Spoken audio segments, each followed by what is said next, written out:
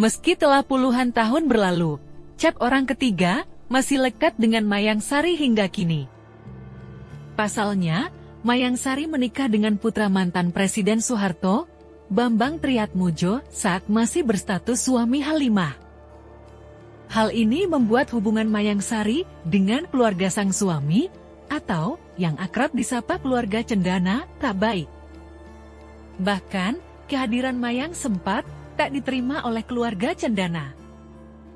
Kondisi tersebut membuat penyanyi era 90-an ini sering absen dalam acara keluarga. Namun, beberapa tahun belakangan, Mayang Sari terlihat mulai akur dengan saudara iparnya. Kendati demikian, momen kebersamaan dengan keluarga besar Soeharto terbilang langka. Ada alasan tersendiri terkait Mayang Sari jarang hadir di acara keluarga Cendana. Lewat podcast Maya Estianti, Mayang mengaku canggung ketika bertemu di acara keluarga besar Bambang. Ia merasa tidak berhak, apalagi pernah menutupi pernikahannya selama enam tahun saat Bambang masih bersama Halimah.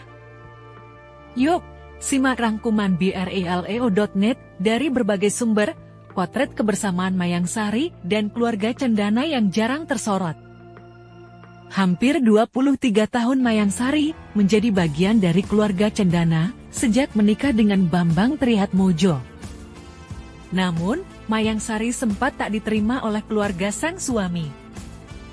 Hal ini lantaran pernikahan Bambang Trihatmojo dan Mayang Sari pun penuh kontroversi. Pasalnya dugaan pelakor, Mayang disebut menjadi kekasih simpanan Bambang Trihatmojo saat masih menikah dengan Halimah. Seiring berjalannya waktu, Kini, hubungan Mayang Sari dengan keluarga sang suami tampak sudah lebih cair dan akur. Melalui laman Instagramnya, Mayang Sari beberapa kali memamerkan momen saat berkumpul dengan keluarga Cendana. Salah satunya, Mayang Sari terlihat hadir di momen pernikahan anak kedua Ari Sigit, Haryo Putra Wibowo, menikahi Dela Putri Anjani pada tahun 2019 lalu. Kehadiran Mayang Sari seolah mengindikasikan jika hubungannya dengan keluarga Cendana sudah mulai. Tampil serasi dalam balutan outfit kuning, Mayang tampak akur dengan Tutut Soeharto, kakak sulung Bambang.